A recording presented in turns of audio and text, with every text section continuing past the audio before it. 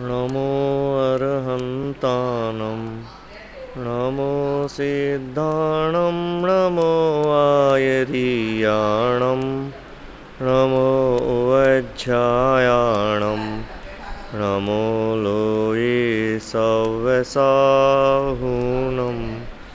मङ्गलमय मङ्गलकरन् वीतरागविज्ञान नमो ताहि जाते वै मंगल कर हो महा ग्रंथ करण के काज जाते मिले समाज सब पावे निज पदरा शिव उपाय करते प्रथम कारण मंगल रूप, विघ्न विनाशक सुख करण, नमो सिद्ध शिव भू मोक्ष प्रकाशक का नौवा अधिकार चल रहा है, जहाँ पर हमारा प्रकरण जो चल रहा है कि आत्मा का हित ही मोक्ष है और वह मोक्ष सर्व कर्मों के अभाव की अवस्था का नाम है। कल प्रकरण चल रहा था कि घाती कर्म में मोहिनी कर्म मुख्य रूप से जीव को आकुलता व्याकुलता कराता है और उसी मोहिनी कर्म, जो शेष आघाती कर्म हैं, उनके अंदर भी वही अपने उदय से शरीर आदि या शरीर से संयोगी पदार्थों के अंदर रागादिक उत्पन्न करा के इस जीव को दुखी करते रहते हैं। इसलिए सर्व कर्मों का नाश होना ही आत्मा का हित है और सर्व कर्म का नाश होने का नाम ही मोक्ष है। ऐसा इस जीव को दृढ़, श्रद्धान, दृढ़ निश्चय करना चाहिए। पृष्ठ क्रमांक 307 में अब इसके आगे का जो प्रकरण है कि जो टोडलमल जी के सामने उनकी सभा में कोई जीव बैठे हैं, या कई बार इस जीव को ऐसा चिंतन भी आता है, क्या सुख मोक्ष के अंदर ही है क्या? क्या सुख इस संसार अभाव का नाम ही है क्या? क्या इस संसार के अंदर सुख नहीं है क्या? तो कई जीवों को इस संसार के अंदर सुख नज़र आता रहता है तो उसी का एक प्रश्न यहाँ पे उठाते हैं। पृष्ठ क्रमांक 307 में पैराग्राफ नंबर एक, दो, तीसरे नंबर का। यहाँ कोई कहे, संसार दशा में पुण्य कर्म का उदय होने पर भी जीव सुखी होता है, इसलिए केवल मोक्ष ही हित है। ऐसा किस लिए कहते हैं? क्या है प्रश्नकार का प्रश्न? कि संसार दशा में पुण्य कर्म का उदय होने पर भी जीव सुखी होता है। इसलिए मोक्ष को ही सुख का कारण क्यों माना जाता है? मोक्ष को हित का कारण क्यों माना जा रहा? कि हम इस संसार के अंदर कई ऐसे प्राणी देखते हैं जिनके पूर्व पुण्य के उदय से बाह्य संयोग या अनुकूल वातावरण पाया जाता है। तो वह जीव हमारे को कैसे दिखते हैं? वह निराकुल दिखते हैं। उनको किसी प्रकार की कोई भी परेशानी या व्याकुलता नज़र नहीं आती। क्यों? क्योंकि पूर्व पुण्य का उदय इतना अच्छा है कि उनके सारा जो परिकर है उनके शरीर के संबंध में संयोगी है, वह सारे संयोगी पदार्थ भी उनके अनुकूल है। और जो शरीर है, उसका जो नामकर्म है, वह नामकर्म भी कैसा शुभ नामकर्म के उदय से उनका शरीर भी स्वस्थ है। शरीर में भी रोगाधिक नहीं मिल रहा। तो ले ऐसे जीव हमारे को संसार में सुखी नज़र आते हैं। तो आप ऐसा क्यों कहते हो कि संसार में तो दुखी ही है और सुख है, सो मोक्ष में ही है। बोले, कुछ आप ऐसा कह दो कि संसार में जिसके पास अच्छा पुण्य है, पूर्व में जिसने बहुत पुण्य बांधा हुआ है, वो जीव तो संसार में सुखी है। अब जिसके पुण्य नहीं है, जिसके अच्छा शुभ कर्म नहीं बांधा हुआ है उस जीव के लिए आप बोलो कि भैया तेरे को सुखी होना है तो यह संसार से छूट करके मोक्ष में चला जा कि बोले, जिसके भाई कमाने के लिए कौन प्रयत्न करता है कि जिसके बाह्य के अंदर कुछ रुपए पैसे की, कुछ आजीविका का साधन नहीं होता है, वही जीव तो कमाने का प्रयत्न करता है। वही तो देश विदेश में जाता है नई नई नौकरी करता है। क्यों? क्योंकि उसको आजीविका चाहिए। अब जिसके पास आजीविका का संपूर्ण साधन है, अर्थात जिसके पास धन अधिक संपूर्ण है तो वह धन का प्रयास क्यों करेगा? तो ऐसा शिष्य का प्रश्न है, टोडलमल जी का प्रश्न क्या, उस, टोडलमल जी के सामने क्या प्रश्न उपस्थित हुआ कि बोले, जिसके पास बाह्य सारी अनुकूलता दिख रही है जो जीव निराकुल है तो बोले, उस जीव को आप ऐसा क्यों कहते हो कि संसार में दुख है? ये तो आप उनको बोलो कि जिनके बाह्य में बहुत प्रतिकूलताएँ दिख रही है, जिनके पास अनुकूल सामग्री नहीं है, उन जीव को तो बोलो कि भैया देख, तू मेहनत बहुत कर ले, लेकिन तेरे पाप कर्म का उदय इतना तीव्र है कि तेरी सारी की सारी मेहनत निष्फल में जाएगी। इसलिए तू संसार के लिए कुछ भी प्रयत्न मत कर। यदि तुझे पुरुषार्थ करना है तो मोक्ष का पुरुषार्थ कर तो सुखी हो जाएगा। तो यदि आप ऐसा बोलो तो हमारे को आपकी बात समझ में आ जाती है कि मोक्ष में भी सुख है। लेकिन आप ऐसा मत बोलो कि संसार में सुख नहीं है, क्योंकि जीव को दिखता तो है ही। कि जिसके पास जैसे जो राजा अधिक है या चक्रवर्ती आदि है, या जिसके पास बहुत अच्छी भोग्य सामग्री है, वह सब हमारे को संसार में आकुलित कौन ना दिखते हैं। हमारे को तो कैसा दिखता है कि राजा के पास कोई काम नहीं करना दिन भर आराम से राजमहल में रहो, ऑर्डर दो, ये मंगाना, वो खाना, मस्ती करना, घूमना, फिरना तो राजा दुखी का है? थोड़ा बहुत उसको परेशानी हो और सैकड़ों नौकर उसकी हाजिर में जी में लगे हुए तो ऐसे जीव तो संसार में सुखी नज़र आते हैं। तो उन जीवों को तो आप कम से कम कह दो कि पुण्य के उदय के जिनका बहुत अच्छा पुण्य का उदय है, ऐसे जीव भी संसार में सुखी हैं। तो हमारे को ये बात प्रत्यक्ष दिखती है, अगर आप ऐसा बोल दो तो हमारे को भी आपकी मोक्ष का हित वाली बात भी समझ में आ जाएगी। लेकिन आप तो कैसे बोल रहे हो ये बोले संसार में तो किंचित भी सुख नहीं है। तो हमें यह बात अटपटी सी नज़र आ रही है। क्योंकि प्रत्यक्ष जो दिखता है, जीव वही तो मानेगा। तो वहाँ पे टोडलवल जी के सामने जब ये क्वेश्चन उपस्थित हुआ कि संसार दशा में पुण्य कर्म का उदय होने पर भी जीव सुखी होता है इसलिए केवल मोक्ष ही हित है, ऐसा किस लिए कहते हैं? तो क्या समाधान करते हैं इसका?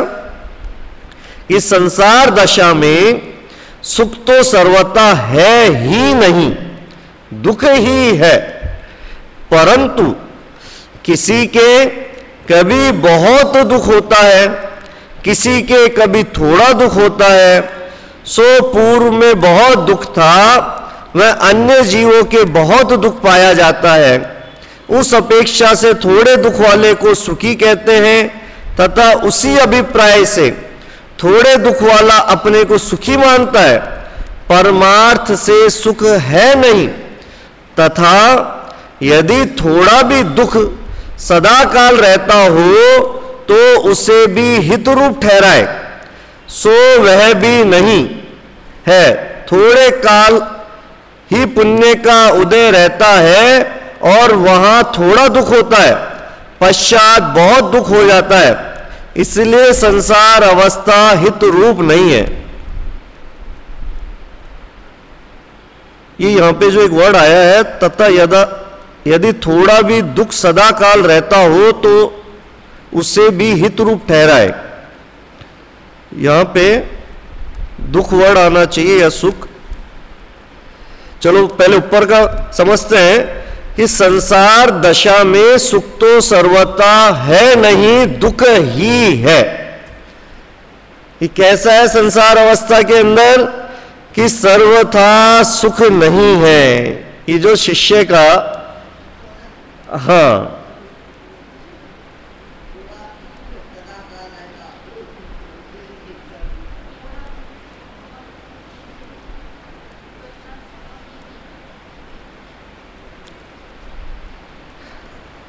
संसार दशा में सुख तो सर्वथा है ही नहीं, दुख ही है।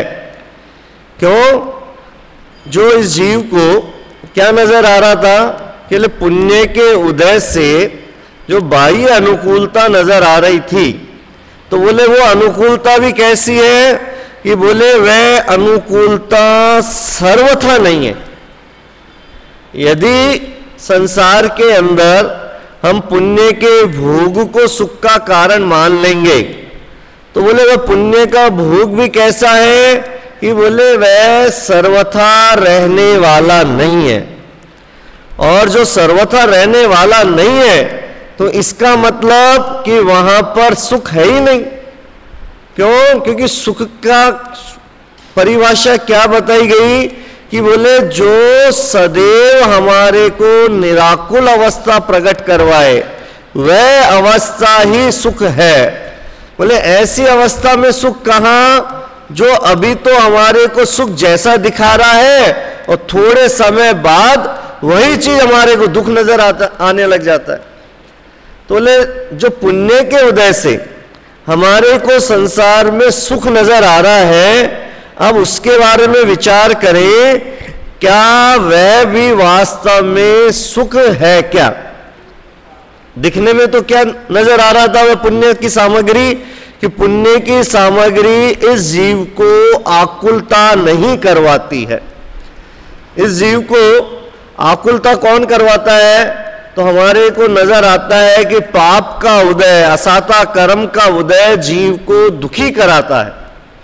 और जिसके पुण्य का उदय है, जिसके सातावेदनी कर्म का उदय है, जिसके शुभ कर्म का उदय है, उस जीव को हम क्या मानते हैं? इस जीव के तो बहुत ही अनुकूलताएँ हैं यह जीव तो सुखी है। इसकी तो पाँचों उंगलियाँ घी में है, जिसके इतना पुण्य का उदय है कि उसको मन में कुछ विकल्प आया और वह वस्तु भी आ जाए उसके सामने। मान लो, इतना पुण्यशाली, कोई वैभवशाली ऐसा चक्रवर्ती भी हो।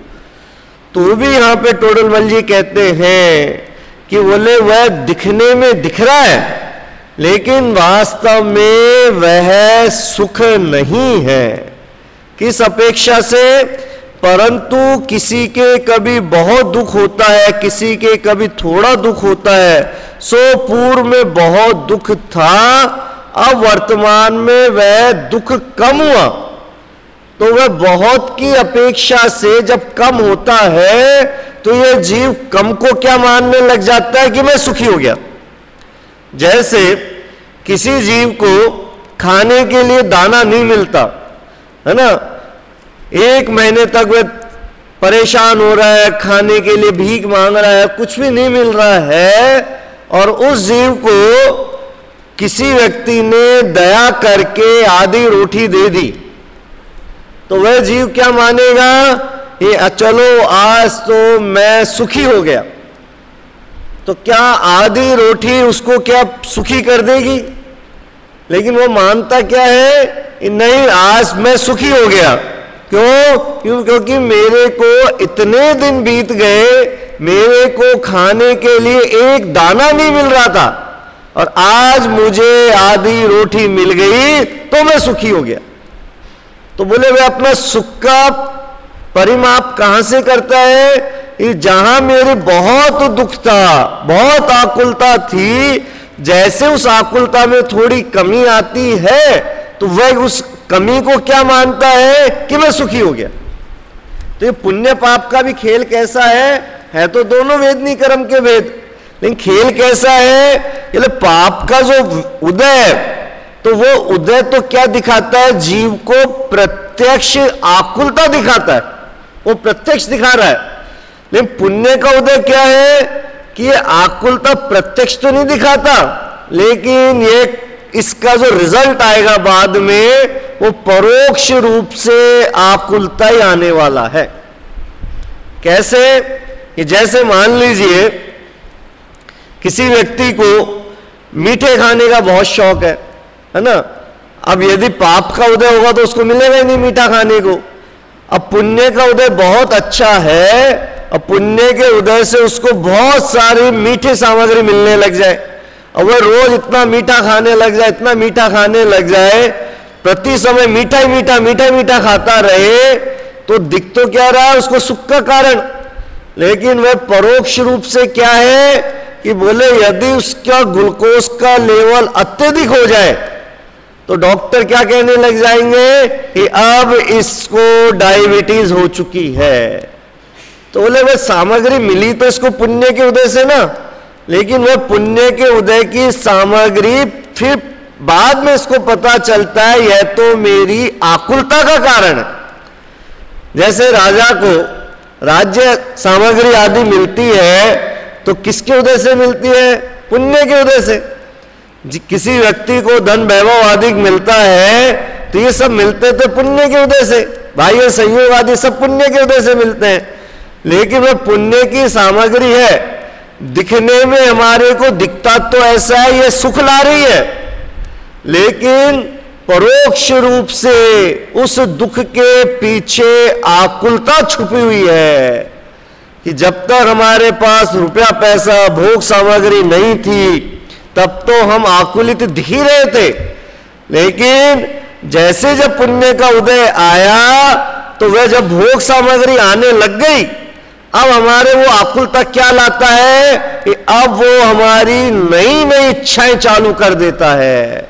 कि जब तक रुपया पैसा नहीं था, कभी कोई गरीब व्यक्ति हो, जिसके दिन में दस रुपए कमाने की भी लायकात नहीं हो तो क्या वह गरीब व्यक्ति ऐसा सोचता होगा कि मेरे पास मर्सडीज कार हो, मेरा बहुत बड़ा बंगला हो, मैं बहुत वर्ल्ड टूर करूँ। क्यों? क्योंकि उसको पता है कि मैं, मेरे पास दस रुपए की कमाई नहीं है तो मैं इतने बड़ा क्या विकल्प करूँगा? तो वह तो कितना सा विकल्प करता है कि भैया मेरे को खाने के लिए रोटी मिल जाए और आराम से सो जाऊँ, बस, मेरी ज़िंदगी इसी में निकल जाए। तो बोले, अब जब उसका बहुत पुण्य का उदय आ जाए और उसके लॉटरी निकल जाए है तो अब उसका विकल्प क्या करने लग गया? कि अब उसके विकल्प में आने लग गया कि अब मेरे पास रहने के लिए बहुत अच्छा मकान भी होना चाहिए, मेरे पास घूमने के लिए गाड़ी बंगला भी होना चाहिए, मेरी समाज में प्रतिष्ठा भी होनी चाहिए, सारी सामग्रियाँ होनी चाहिए। तो बोले, वह जो पुण्य का उदय आया है, अब उस पुण्य के उदय ने तेरे को क्या पैदा करवा दिया कि तेरे को इच्छाएँ इतनी ज़्यादा करवा दी कि अब तू और ज़्यादा आकलित व्याकुलित हो गया। इसलिए यहाँ पर टोड़मल जी बता रहे हैं कि बोले, हमारे को संसार में यह भ्रम है कि संसार में जिसके पास पुण्य का उदय होता है, या जिनके बाह्य सामग्री बहुत अच्छी है, उस वह जीव तो सुखी होंगे ना? तो टोड़ेमल जी कहते हैं कि बोले, वह हमारे को सुखी नज़र आ रहे हैं। क्यों नज़र आ रहे हैं? क्योंकि हमने अपनी अपेक्षा से, हम अपने आप को उनसे तुलना करने लग जाते हैं। कि मेरे पास तो कमाई के बहुत बड़े साधन नहीं है और उस व्यक्ति के पास बहुत बड़ी फैक्ट्री है। मेरे पास रहने लायक छोटा सा कमरा है और उस व्यक्ति के पास बहुत बड़ा महल है। तो वह व्यक्ति तो सुखी होगा और मैं दुखी हूँ। तो हम अपनी अपेक्षा से उसको सुखी मानने लग जाते हैं। और टोडलमल जी कहते हैं कि भैया, यदि वह पुण्य का उदय इस जीव को सुखी कर देता। तो बोले, इस संसार में जितने भी अनंत जितने भी तीर्थंकर हुए हैं, वह सारे के सारे तीर्थंकर क्षत्रिय कुल के अंदर राज्य अवस्था में पैदा हुए हैं। है ना? सबके सब राजकुमार थे। कई राजा भी बन गए। तो बोले, और और कई ऐसे भी भगवान हुए हैं जिनके पास छह खंड का अधिपति थे। ऐसे हमारे चक्रवर्ती आदि भी भगवान बने। तो बोले, वैभव की तरफ़ से यदि हम सुख मानने लग जाएँ, तब तो बोले, संसार का बड़ा सा बड़ा वैभव उन चक्रवर्ती के पास, उन तीर्थंकरों की राज्य अवस्था के अंदर था। लेकिन तब भी उनको वह पुण्य के उदय की सामग्री में सुख क्यों नज़र नहीं आ रहा था? और अज्ञानी को क्यों नज़र आता है? क्योंकि अज्ञानी अपने आप को उस सामग्री के अभाव से दुखी मान रहा है। अज्ञानी आकुलित क्यों होता है कि संयोगों का अभाव से मेरे को दुख होता है? तो वह सुख की कल्पना भी क्या कर रहा है यदि उन संयोगों की प्राप्ति हो जाए तो मैं सुखी हो जाऊँगा। और यहाँ पर टोडेमल जी समझाना चाह रहे हैं कि भैया ना वह संयोग सुख के कारण है, ना संयोग दुख का कारण है। बोले, उन संयोगों के प्रति तेरा जो ममत परिणाम है, तेरा जो अज्ञानता है, वही तेरा दुख का कारण है। और जब वो अज्ञानता हटेगी, तब तेरे को सुख मिल जाएगा। तो वह अज्ञानता इस जीव को क्या दिखाती है? कि बोले, जिसके पास पुण्य कर्म का उदय होता है वह जीव संसार में सुखी होता है। क्योंकि दिखाता है ना हमारे को कि हम संसार में अपने आप को सुख कब मानेंगे कि जब मेरे पास रहने लायक एक अच्छा मकान होगा, मेरे पास अच्छा व्यापार, अच्छी नौकरी होगी, मेरे अनुकूल, मेरे ग्रस्ती होगी तो हम अपने आप को क्या मानने लग जाते हैं कि मैं तो सुखी हो गया? तो टोडलमल जी के सामने जो प्रश्न उपस्थित हो रहा है वह ऐसे व्यक्ति का उपस्थित हो रहा है। और ऐसे व्यक्ति मतलब हम जैसे व्यक्ति, कि जिन्होंने इस संसार में बाह्य अनुकूलताओं में अपने आप को सुखी मान रखा है। तो वह जीव ऐसा ही मानेगा कि वास्तव में पुण्य अच्छा पुण्य कर्म का उदय भी तो सुख का कारण है ना? तो जो हमारे को दिख रहा है जब हम उसी को सुख का कारण मान लेंगे तो हमारे को फिर आत्मा का हित मोक्ष है। यह बात कैसे समझ में आएगी? इसलिए टोडलमल जी समझाना चाह रहे हैं कि भैया, यदि बाह्य पदार्थों में, संयोगों की अनुकूलता में सुख मिल जाता पुण्य कर्म यदि तेरे को सुखी कर देते, तब तो हम लिख देते। कि हाँ भैया पुण्य करते रहना। क्यों? क्योंकि पुण्य के उदय से भोग भोग सामग्री बहुत मिलेगी और वह भोग सामग्री तेरे को सुखी कर देगी। तो बोले, फिर प्रश्न क्या उपस्थित होता है? बोले, दिखता तो है ना। बोले, आपके मना करने से हम कौन ना मानेंगे? हमारे को दिखता तो है कि जिसके पास अच्छा ठाट बाट है, जो गाड़ी बंगले में घूम रहा है, वह कितना सुखी दिखता है, हंसता रहता आराम से। उसके आसपास हज़ारों लोग घूम रहे हैं, उससे सब व्यक्ति उससे मिलना चाहते हैं। तो सुखी तो है वो व्यक्ति। तो आप ऐसा कैसे कह रहे हो कि वह व्यक्ति सुखी नहीं है? तो कहते हैं, यहाँ पे समझा रहे हैं कि बोले उस देखो, इसी टोडेमल जी की भाषा में समझते हैं, परंतु किसी के कभी बहुत दुख होता है, किसी के कभी थोड़ा दुख होता है, सो पूर्व में बहुत दुख था वह अन्य जीवों के बहुत दुख पाया जाता है। उस अपेक्षा से थोड़ा दुख वाले को सुखी कहते हैं कि इस जीव को क्या नज़र आता है कि संसार में जिनके बहुत दुख दिखता है तो हमारे को क्या नज़र आया कि जिनके पास अनुकूल सामग्री नहीं होती है, जिनके अनुकूल संयोग नहीं होते हैं, वह जीव दुखी होते हैं। हम जब एक रिज़ल्ट निकाले, एक जगह लिखे मतलब एक सर्वे कराएँ कि देखा सुखी कौन और दुखी कौन। तो उस सर्वे के अंदर क्या पाया जाएगा कि जिसके नौकरी नहीं लग रही है है ना? जिसके रहने के लिए मकान नहीं है जिसके अनुकूल घर की परिस्थिति नहीं है, जिसको खाने की व्यवस्था नहीं मिल रही है तो सर्वे में वह सब लोग क्या बोलेंगे? कि हम तो बहुत ही दुखी हैं। अब एक सर्वे में यह भी आता है कि कुछ लोग ये कहते हैं कि नहीं, हमारे को हमारे अनुकूल जितनी नौकरी मिलनी चाहिए, वह मिल गई, जितना व्यापार में कमाना है, वह मिल गया, अनुकूल हमारी घर गृहस्थी है। तो हम उतने दुखी तो नहीं है। तो हम उनसे पूछते आप उतने दुखी तो नहीं हो तो क्या सुखी हो क्या? गलती से वो सर्वे में लिख दे कि हाँ, जितना मेरे पास सामग्री मिल गई, मैं सुखी हूँ। समझना? तो यदि वे सुखी हैं तो अब अपन उनको ये टोडलवल जी कहना चाहते हैं कि भैया, यदि अब तुम सुखी हो गए हो तो अब तुम अपने उस संसार की वृद्धि का प्रयास आगे बढ़ाने की क्रिया का प्रयास बंद कर दो। सुखी हो गए ना तुम अब तो? कि जैसे तुम्हारे को, जैसे जिस व्यक्ति को बीस हज़ार रुपए की भी नौकरी नहीं लगती थी, दो हज़ार रुपए की नौकरी कर रहा था तो वह व्यक्ति क्या मान रहा था? यदि मेरी बीस हज़ार की तनख्वाह हो जाएगी तो मैं सुखी हो जाऊँगा। क्यों? क्योंकि दो हज़ार की तनख्वाह में मैं क्या घर चलाऊँगा, क्या घूमूँगा? दस गुना मेरी सैलरी हो गई तो मैं सुखी हो जाऊँगा। तो उसने जब अपना रिज़ल्ट लिखा कि बीस हज़ार की नौकरी मिलते ही मैं सुखी हो जाऊँगा, और उसको पुण्य के उदय से बीस हज़ार की सैलरी भी मिल गई तो अब हम उसको कहें कि भैया, तू अब सुखी तो हो गया ना, अब तू इससे बड़ा विकल्प मत कर। तो बोले, फिर भी वह विकल्प क्यों कर रहा है? कि बोले, वह बीस हज़ार रुपए, अर्थात वह पुण्य का उदय उसको सुख नहीं दिलाएगा।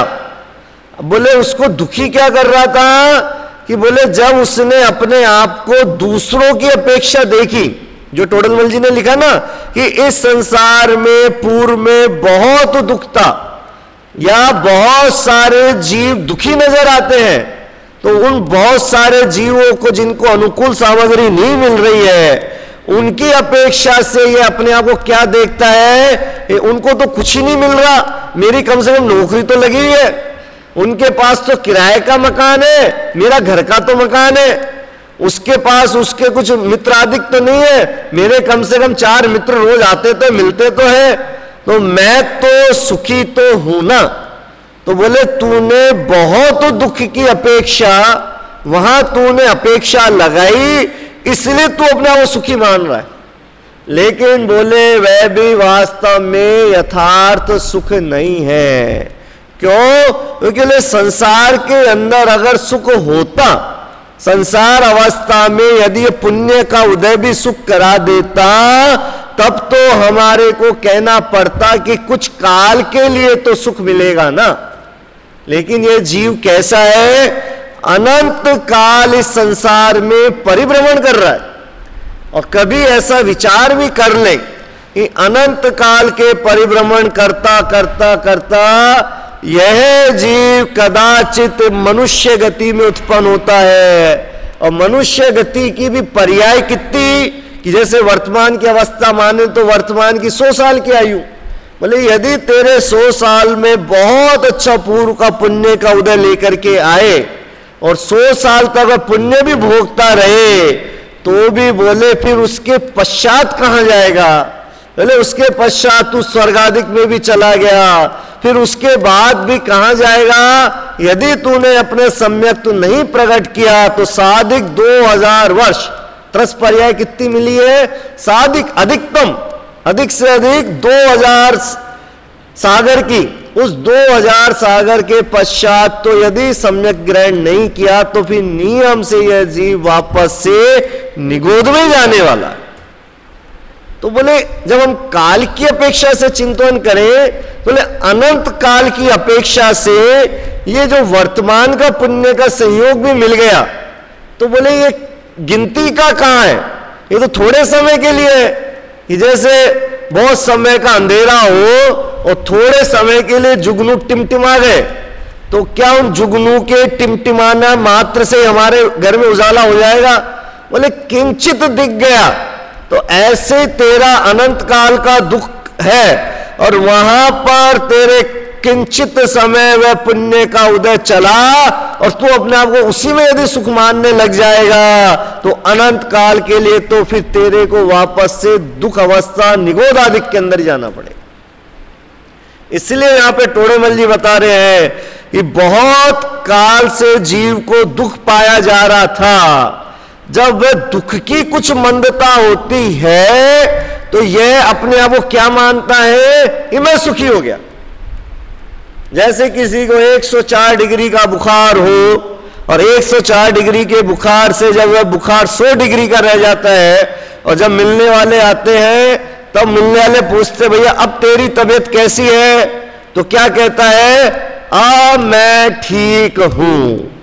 किस अपेक्षा से कहता है वो, कि जो मेरा 104 डिग्री का बुखार हो रहा था, सिर दर्द हो रहा था, हाथ पाँव नहीं हिल रहे थे, अब मैं कम से कम थोड़ा बहुत हाथ पाँव हिला पा रहा हूँ। इसलिए वो अपने आप क्या बोलता है, अब मैं ठीक हूँ। तो क्या वास्तव में ठीक है क्या? बोले वह ठीक तो वास्तव में उस समय भी नहीं है। क्यों? क्योंकि अभी भी तो 100 डिग्री का बुखार है ना। लेकिन फिर भी उसने क्यों माना कि 104 की अपेक्षा से 100 डिग्री रह गया? इसलिए मैं अपने आप को ठीक मान रहा हूँ। ऐसे ये जीव पुण्य के उदय से क्या मानता है? ये बोले, मैं संसार में बहुत जीव ऐसे देखता हूँ जिनके बाह्य सामग्री नहीं है, भोग सामग्री नहीं है, अनुकूलताएँ नहीं है तो वो जीव तो मेरे को दुखी नज़र आ रहे और मैं कैसा नज़र आ रहा हूँ? मेरे को कम से कम वो दुख तो नहीं है। इसलिए मैं अपने आप सुखी कहने लग जाता हूँ। लेकिन यह टोडलमल जी कह रहे हैं, भैया, तू उसको सुख मत मान लेना, क्योंकि यहाँ पे प्रकरण क्या चल रहा है? कि वास्तव में जीव का हित जो सुख है, वह सुख अवस्था क्या है? यहाँ टोड़ेमल जी यह नहीं समझाने बैठे हुए कि संसार में सुख कहाँ है और दुख कहाँ है। मतलब संसार की किस वस्तु में सुख है और संसार की किस वस्तु में दुख है। वो संसार में भेद नहीं कर रहे। वह किसमें भेद कर रहे हैं कि वास्तव में इस जीव का हित कहाँ है? वह यथार्थ सुख कहाँ है? तो बोले वह यथार्थ सुख, जो इस जीव को कभी कदाचित पुण्य के भोग सामग्री में भी दिखता है। वह राजपाट आदि में भी दिखता है। वह घर गृहस्थी में, अनुकूल घर गृहस्थी में भी दिखता है। तो बोले वह भी वास्तव में यथार्थ सुख नहीं है। तो बोले वह सुख नहीं है तो फिर हमारे को सुख जैसा वैसी आकुलता तो दिख नहीं रही ना। बोले, उस आकुलता का डिग्री थोड़ी सी कम हो गई।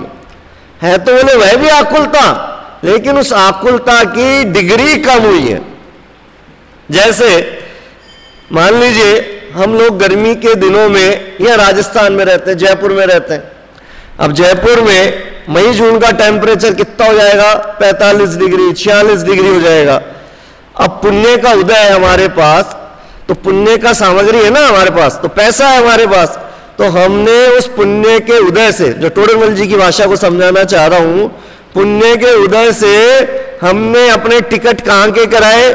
कि हम ऐसी जगह चलते हैं, और दो महीने हम ऐसी जगह रहेंगे जहाँ का टेम्परेचर 28 डिग्री का होता हो। ऐसे देश में चले जाते हैं ऐसे स्विट्जरलैंड आदि में चले जाओ, ऐसे देश में चले जाओ जहाँ पे अब प्राकृतिक वातावरण बहुत अच्छा है। तो पुण्य के उदय से हम वहाँ पे चले गए। तो टोडलमल जी को अब वह जीव क्या कह रहा है कि देखो मेरा पुण्य का उदय है ना तो मैं तो सुखी हूँ, क्योंकि जिसके पास रुपया पैसा नहीं था तो वह जीव तो अभी भी जयपुर की भरी गर्मी के अंदर, कमरे के अंदर ही दुबका हुआ बैठा हुआ है। वह घर से बाहर नहीं निकलता। क्यों? क्योंकि उसके पास पैसा ही नहीं था, पुण्य का उदय ही नहीं था। और हमारा तो देखो साहब, पुण्य का उदय है कि हमारी फैक्ट्री भी चल रही है, व्यापार भी चल रहा है और हम दो महीने के लिए स्विट्जरलैंड घूमने आ गए हैं। तो हम तो सुखी है ना? हमारे को का दुख? ये दुख तो आप उनको बोलो, जिनके पास बाह्य वैभव नहीं है, उनको बोलो आप दुखी। अब हम विचार करें कि उस पुण्य के उदय से हम दो महीने के लिए अनुकूल वातावरण में भी चले जाएँ। प्रकृति के अनुकूल, हमारे शरीर के अनुकूल वातावरण जहाँ मिले तो बोले, क्या हम वहाँ पे सुखी हो जाते हैं क्या? जो जो समझाना चाह रहे ना, आकुलता का परिमाप थोड़ा बस कम होता है। तो बोले, अब वहाँ पर हम पहुँच गए, अब वहाँ पर हम पहुँच गए, अब वहाँ पे पहुँचने के बाद, अब हमारे को वहाँ की आकुलता दिखती है। इतनी आकुलता नहीं हो रही, क्योंकि यहाँ जयपुर में तो क्या था, गर्मी की आकुलता हो रही थी। अब वहाँ पर कौन सी आकुलता चालू हुई है?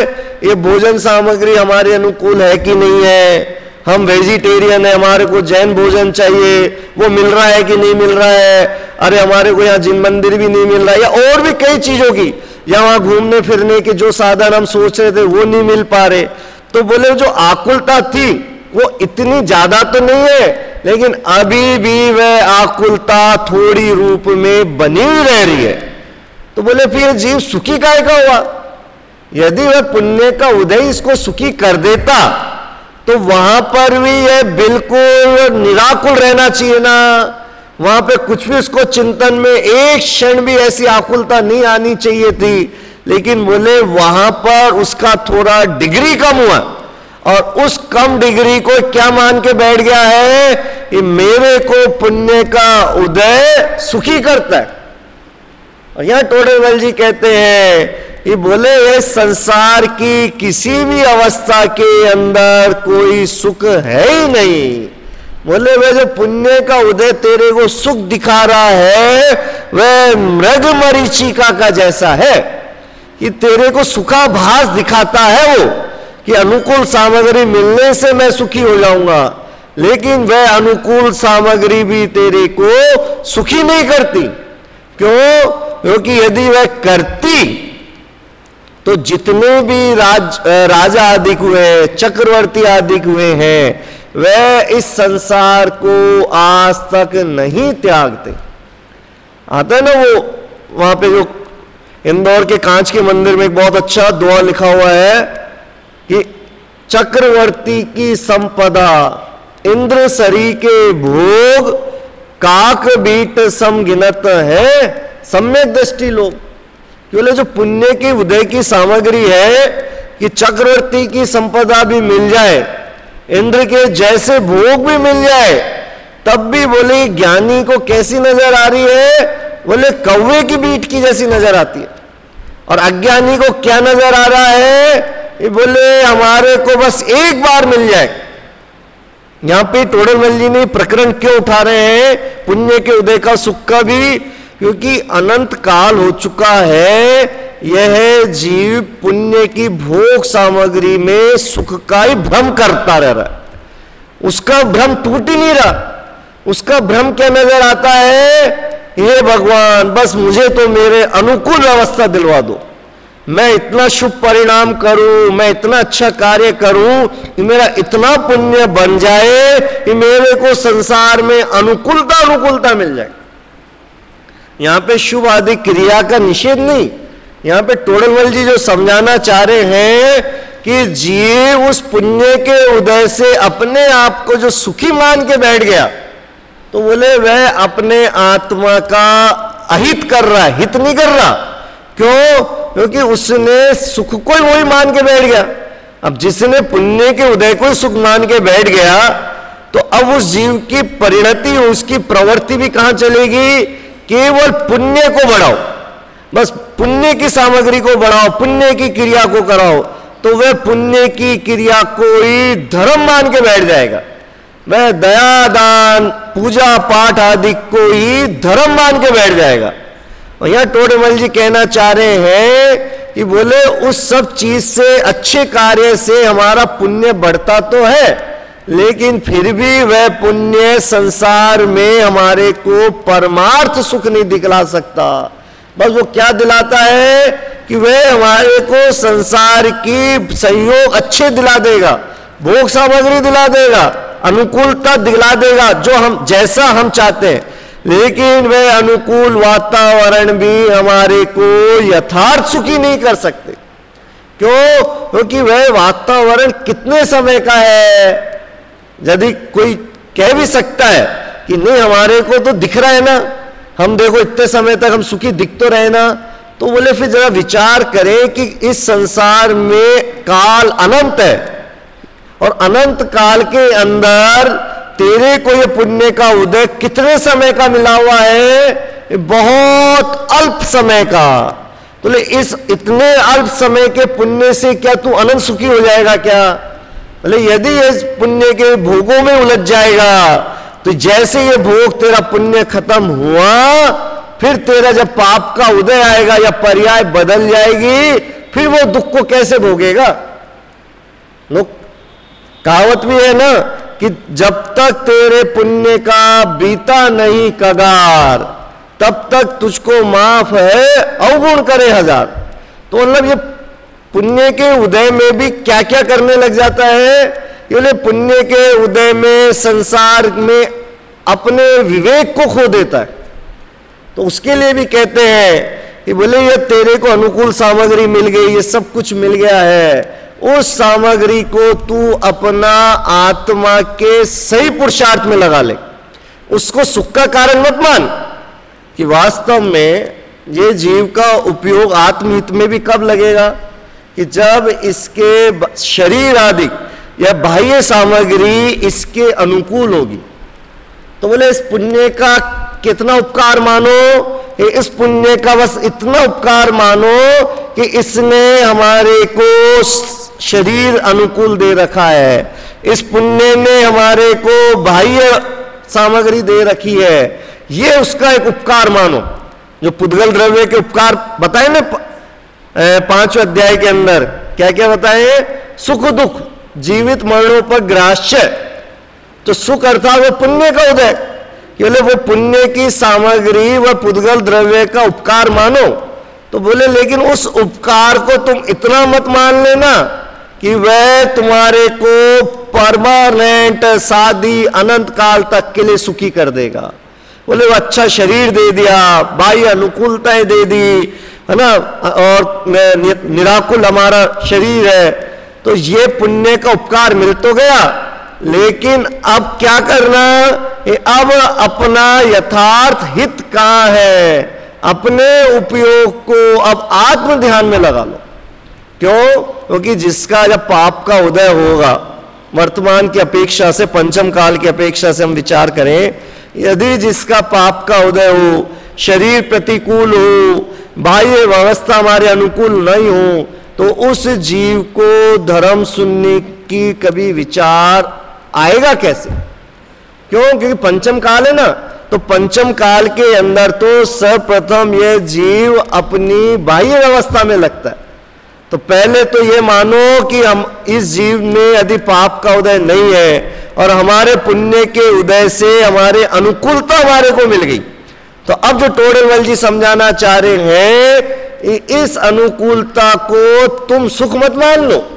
बस इसको यह मानो कि यह अभी हमारा एक सहचारी है, कि चलो हमारे को कमाने के लिए इतना परेशान होना नहीं पड़ता। शरीर में ऐसा रोग नहीं है कि हम स्वाध्याय आदि भी नहीं कर सकते, ध्यान आदि भी नहीं कर सकते। बोले, शरीर हमारा स्वस्थ है, बाह्य वातावरण अच्छा है तो अब इस समय क्या करना कि वास्तव में जो आत्मा का हित है, वह केवल मेरे निज चैतन्य स्वभाव की अनुभूति है, उसकी प्रकटता करना ही है। और नहीं तो बोले, यह जो पुण्य के उदय से जो मेरे को सुख दिख रहा है, जो भोग सामग्री में सुख दिख रहा है तो बोले, यथार्थता तो वह थोड़े समय बाद दुख को ही लाने वाली है। तो ऐसा यहाँ पे पूर्व में बहुत दुख था, या अन्य जीवों के हम बहुत दुख देखते हैं, उस अपेक्षा से थोड़े दुख वाले को सुखी कहते हैं। तथा उसी अभिप्राय से थोड़े दुख वाला अपने को सुखी मानता है। परमार्थ से सुख है नहीं। उसी अपेक्षा से कि जिसको बहुत दुख दुखी दुखी नज़र आ रहे हैं, उसी अपेक्षा से वो अपने आप को क्या बोलता, मैं सुखी। जैसे घर में किसी माता के चार बेटे हों और वह चारों बेटे जब बड़े हो जाते हैं और अपने अपने व्यापार धंधे में लग जाएँ तो किसी एक बेटे का बहुत पुण्य का उदय हो, है ना? और वो बहुत भोग सामग्री उपस्थित कर ले और बाकी के अन्य बेटों का इतना पुण्य का उदय नहीं होता है तो वह कैसे अपने आप को सुखी बोलता है कि मेरे तीन भाइयों की अपेक्षा, मेरे अन्य मित्रजनों की अपेक्षा से तो मैं तो सुखी हूँ।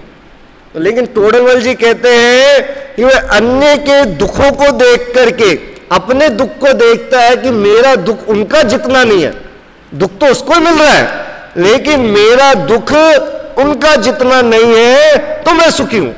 बोले, लेकिन वह वास्तव में परमार्थ से सुखी नहीं है। कैसे नहीं है? अभी समय हो गया, अब इसकी चर्चा अपन और कल करेंगे।